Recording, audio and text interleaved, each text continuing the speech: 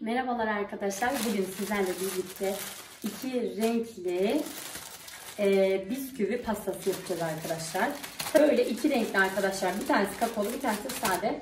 Şöyle çikolata sosu almıştım. Onun içerisine iki buçuk bardak süt konuluyordu normalde. iki bardak süt koydum.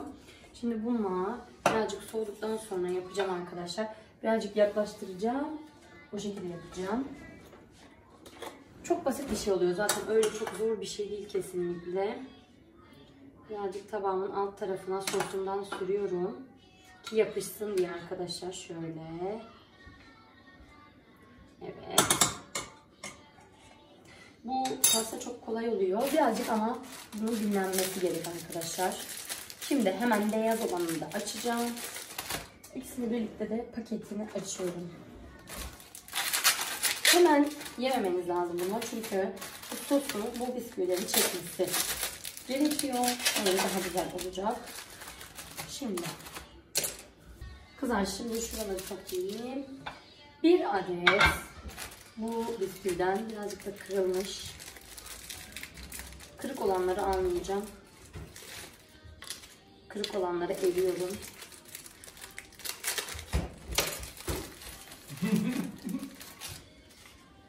Bakın arkadaşlar bir adet bundan şöyle getirdim. Şu şekilde koydum. Şimdi bunu şu tarafına hemen iç tarafına bu sostan sürüyorum.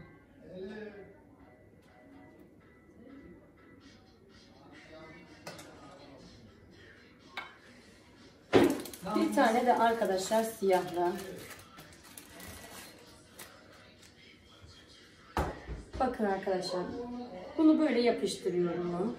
Hepsini aynı tarafta yapabilirsiniz. Evet aynı taraf daha iyi oluyor. Yani iç tarafa bakan yeri iç tarafa, dış tarafa bakan yeri dış tarafa. Şöyle. Şimdi bu. Şuraya da birazcık koyalım. Yapışması için sırf yapıyorum bunu böyle. Sonra arkadaşlar bunun yüzüne gene böyle sürdüm. Yapıştırıyorum. Evet arkadaşlar şöyle bisküvinin bakın bir tarafına yaptım, yapıştırdım. Zaten kendiliğinden yapışıyor, kalıyor böyle.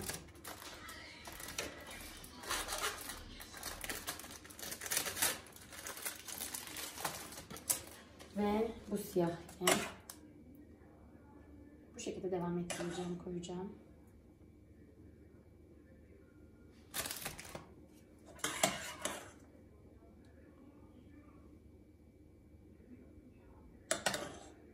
Sıcak sıcak yaptım bir de ben. Bir siyah bir beyazdan devam ediyorum.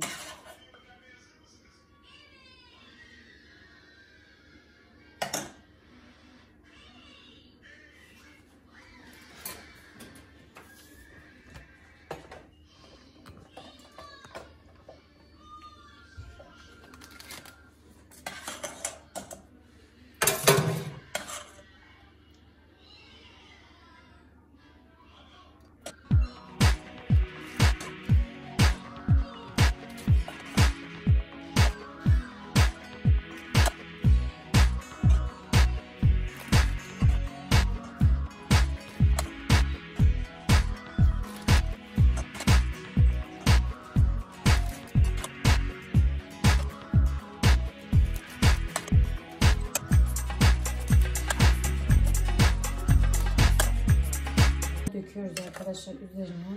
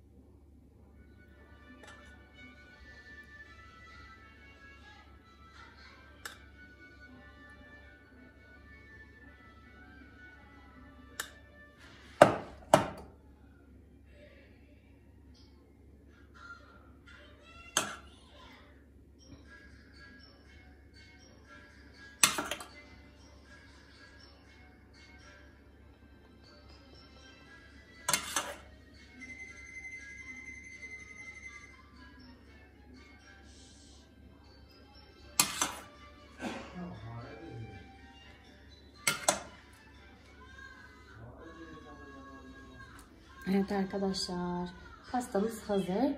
Ee, tabii ki bunun şu yan taraflarına birazcık daha bundan ekleyebiliriz. Normalde 2,5 su bardağı sütle arkadaşlar. Birazcık daha katı olması için 2 bardak koyun. Ben çünkü birazcık fazla koymuş olabilirim. Ee, daha güzel yapabilmek için birazcık daha yani sütünü daha az koyun. Bu kadarlık yapıyoruz.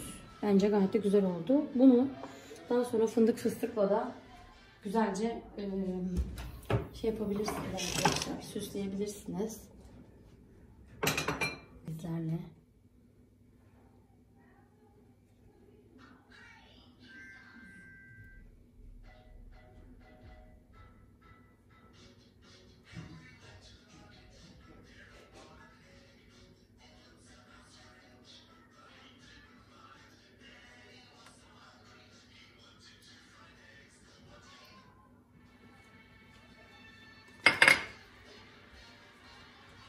Bu pastayı en az 3-4 saat e, dolapta bekletebilirsiniz. Zaten çok basit bir pasta.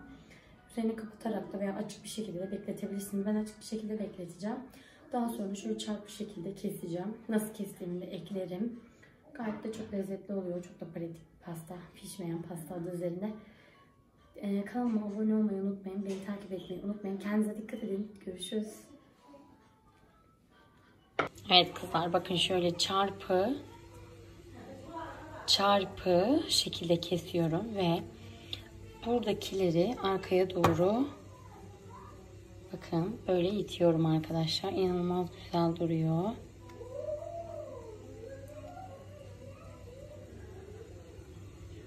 Bakın. Çok şık duruyor arkadaşlar. Şunu da şöyle yapıyorum. Hı. Evet. Pastam hazır.